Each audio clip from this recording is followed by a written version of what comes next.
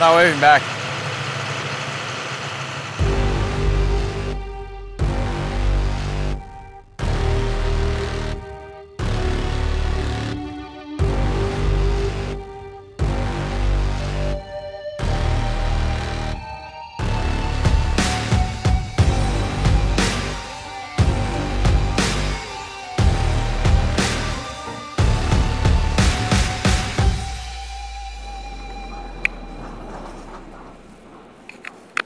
I don't know if it's so good. That's why we have insurance. It was Yeah, not. It shouldn't make sound. Uh, my, uh, Glory.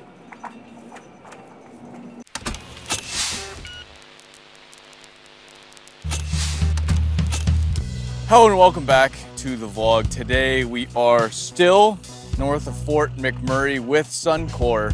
However, there's one small difference between today and the Millennium Mine we visited yesterday. And that is because this is the extension part of the mine, the newer part of the mine. That's a shovel 4100. We just saw those yesterday, but the difference is the trucks. That is because the trucks are all fully autonomous. They've been running autonomous here since 2016. For years now, they have over 30 autonomous trucks floating around here. We just drove by a bunch on our way up here. The reason why there's no trucks behind us now is this dozer right here is knocking down this sand that was just brought in to provide this shovel with a stable area to work in. Once that dozer's out of there, the trucks are gonna start coming in here. There's no driver, they're being run by computers. Now, that's not to say there's a lot of people that are required to make this operation run, like that dozer operator, that shovel operator, that blade operator, the fuel trucks, but the trucks themselves, their Komatsu 930s and 980s are entirely autonomous, running 24 hours a day, seven days a week, only stopping for fuel and maintenance. Wild.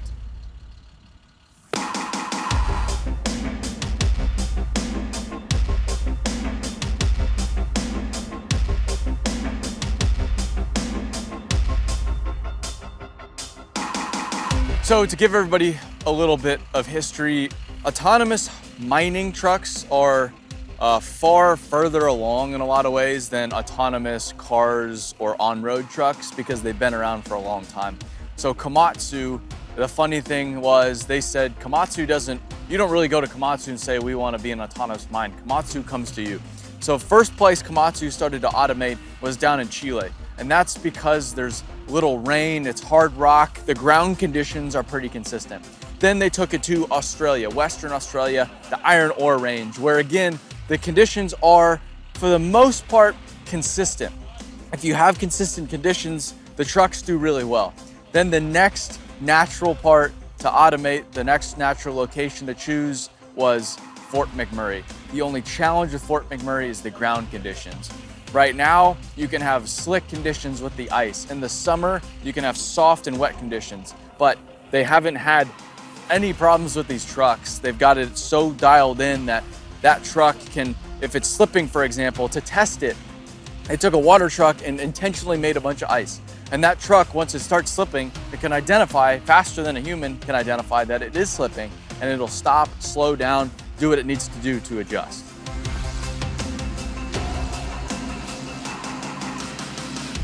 Uh, a major difference out here compared to the mine we were at yesterday with manned vehicles is the haul roads. The haul roads are much wider and they are much more smooth. To run the autonomous trucks efficiently, you need to have more haul road maintenance. So there's a lot of blades out here. They're dropping a lot of gravel on all of these roads. They're beautiful. They're very smooth.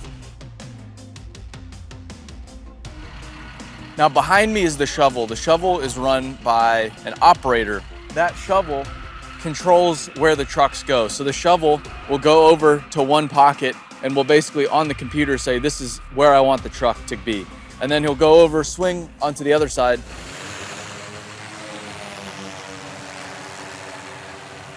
He'll swing on the other side and say, this is where I want this truck to be. So as they're working on their face, the truck, the autonomous truck will come in, back up exactly where that shovel wants to be. They'll load. Once that truck is loaded, the truck will then go to the crusher fully autonomously. And here we have a truck coming in right now.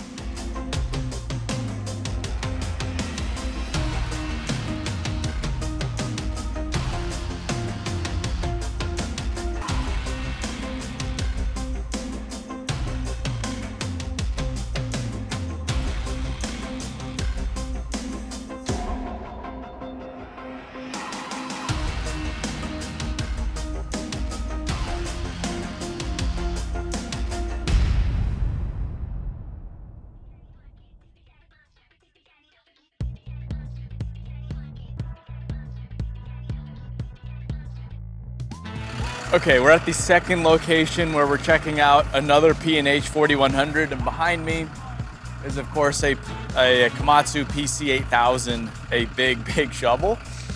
We couldn't get out of the bus. We just pulled up. These are again autonomous trucks. So that there is no driver in that truck behind me getting loaded right now.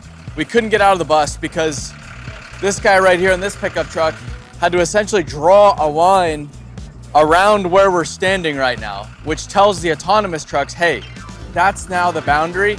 That autonomous truck cannot drive here.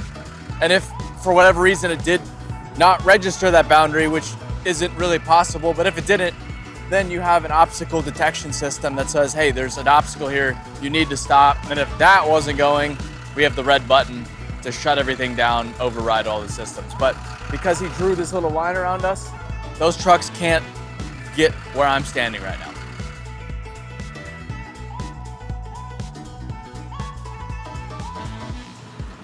Hey Chase, you have my audio? Can we put the stats to that PC8000 on the screen right here?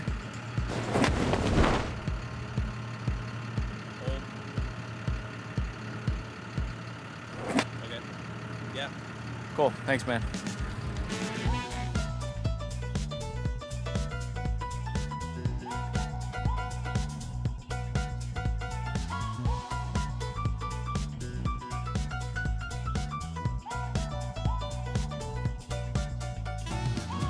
Right, we started the day up at the loading areas. We saw the P&H shovels, that PC8000 loading the Komatsu 930s and 980s. Now, this is a previously mined area that's being filled back up for the sake of reclamation. So within, I don't know, maybe a decade or so, this whole area will be filled, it'll be replanted, it'll essentially be back to a boreal forest. But for now, it's this dump location. So the trucks, the dispatch at that central facility will tell the trucks what shovels they're going to and then what dumps they're going to. There's multiple dumps here.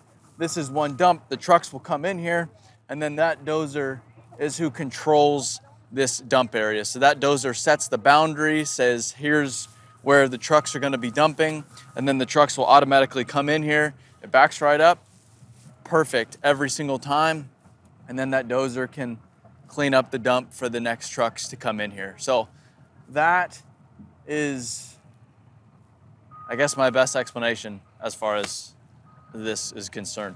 One thing I did learn about, there goes another truck. One thing I did find interesting is these trucks are extraordinarily accurate. So when they back into either side of a shovel, they can get it within a quarter of an inch. And it's the same thing with the dump location. If they, the dozer says, I want you to dump here, exactly there every single time. There's no real discrepancy.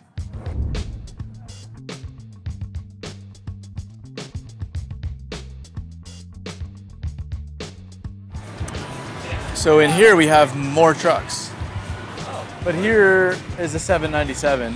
They run both Komatsu and Cat here, primarily Komatsu, but they also have to maintain these big boys.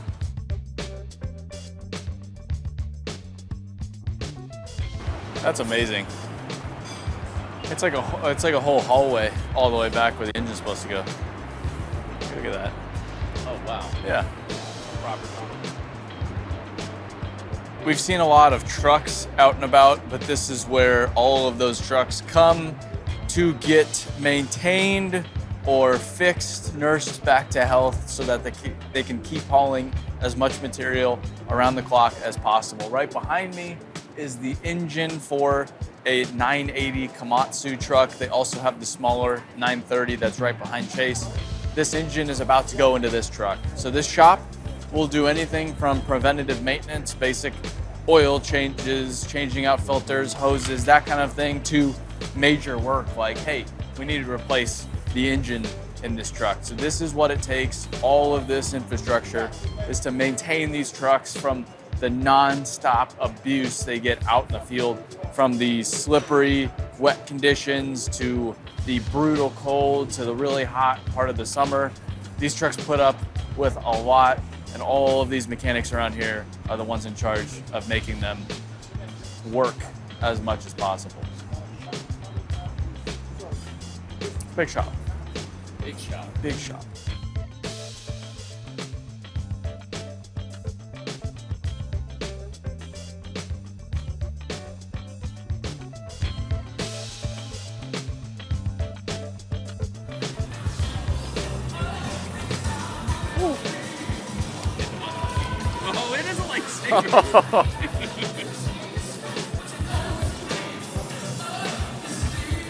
This is what our guy Cat needed the other day because he was using his hands. I'm like, nah, you need one of these. one of these. Light side or dark side, Aaron? Uh, I'm, I'm more of a Luke Skywalker kind of guy.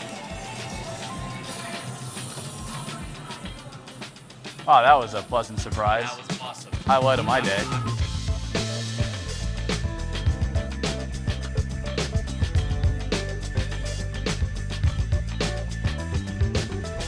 We can talk about the robot truck.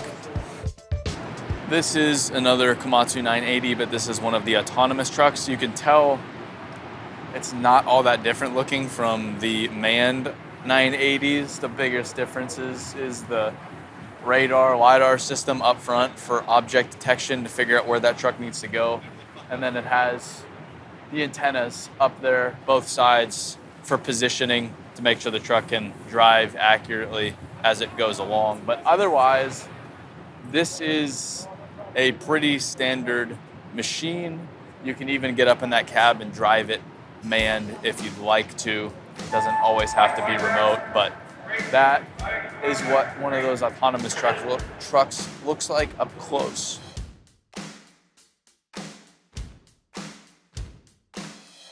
How long does a PM typically take? That's a great question. Let's, let's ask Steve. Let's ask Steve. Let's go, Steve.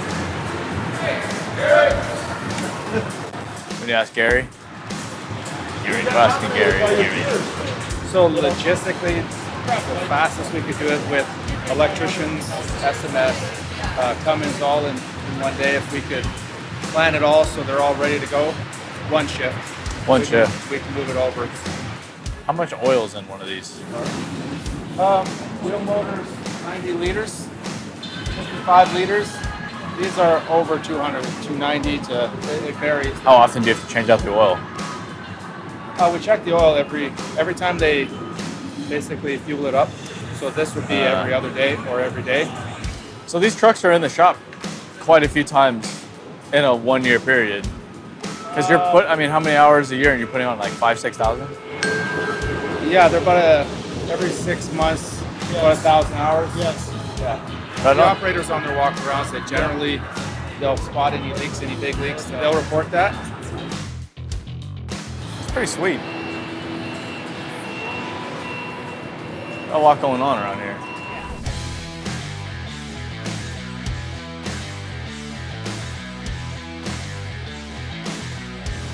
What the box of a 400 ton truck looks like. It's big.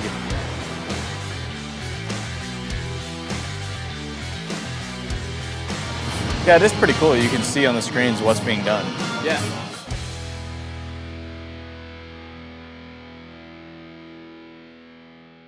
Whoa. Whoa. What do you think that's in reference to? No more yogurt. Yogurt is banned. We heard a story last night about there are these trucks, the autonomous trucks kept stopping and they couldn't figure out what the heck it was. They walk out onto the haul road and they find a little yogurt lid that was being picked up by the sensors. So the yogurt, the, the truck would see the yogurt lid and just stop. And they wouldn't know what the heck was doing it. That's all it took. So no more yogurt. No more yogurt.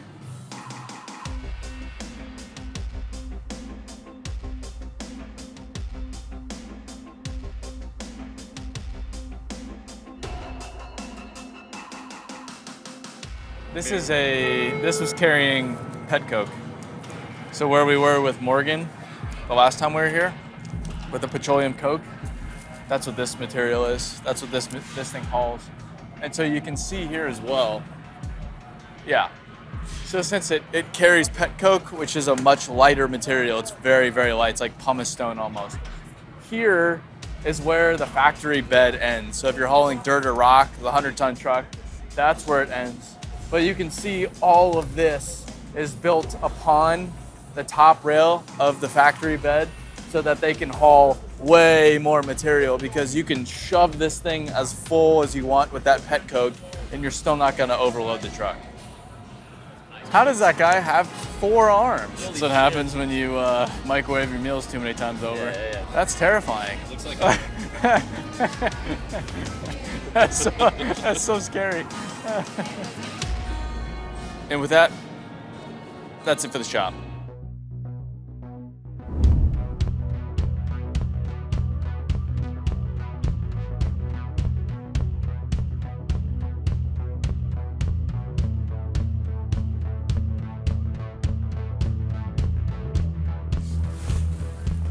Chase, the tracks could belong to um, the Canadian toad. Did those look like Canadian toad tracks?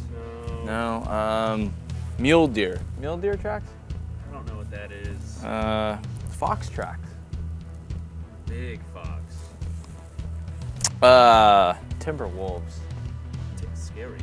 Timber wolves. Scary. This is the Wapisiw lookout at the Suncor base mine.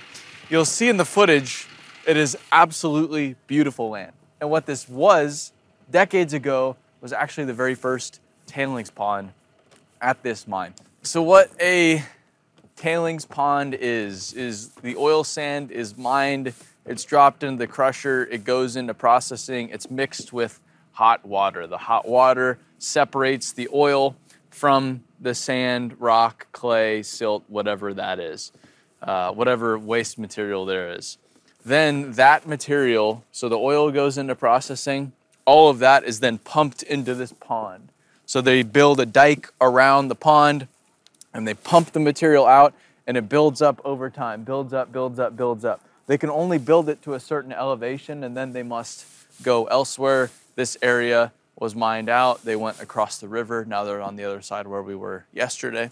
But once it's done, they let the water drain off. They cover the entire area with a huge amount of clay and then topsoil, and then they're able to plant all of the trees and the oats and all the different native grasses along here. This is the very first reclaimed oil sand mining pond in the entire area. So this is a really big deal. It's been here for a while, so you can see the trees are starting to grow up, but in another 10, 20 years, this will be absolutely beautiful. It'll be just like how it was when they found it. This goes to show we've seen a lot of amazing things. We've seen the shovels, we've talked to the people, we've seen the robot trucks, but this goes to show that we can, humans, can extract the resources we need from the earth, the oil, whatever else it is that keeps everyday society moving, and then leave the environment the way we found it, if not better than we found it. This is amazing. This goes to show how much um, just effort and energy and thought miners in today's world, 2023, put in to making sure that they're doing it in the right way. I have heard about this Wapisiw lookout from many people, not just the Suncor people. Someone texted me today, works out here. He said, You need to go to the Wapisiw lookout. People don't see this, but this is what we leave behind when we're done. And it's gorgeous. So the pride, the beauty, very cool.